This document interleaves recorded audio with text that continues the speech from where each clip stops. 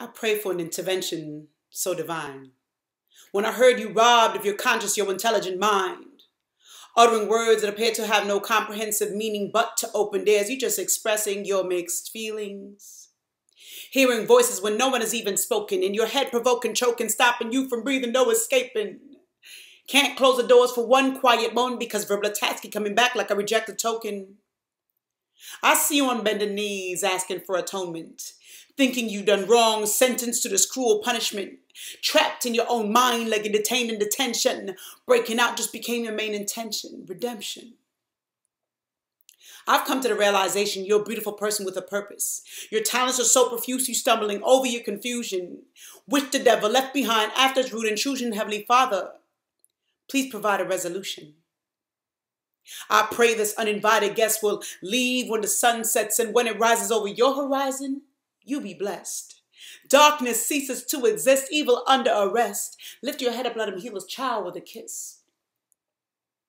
How many of us has taken the time out to listen to a soul who's been trapped between the walls of depression? How many of us have realized that shades of madness is camouflage intelligence? How many of us has been told to go for psychological assessment because we do not conform to the norms of society? Well, baby love, I overstood your madness when I heard you in a corner crying, singing. This is insanity, living with split personality, crazy, seeing everybody so shady. How come everyone is ignoring me? Is this a conspiracy? Free, free your mind, free your mind, free your mind.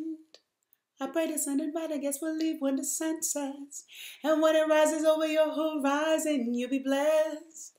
Darkness ceases to exist, evil under arrest.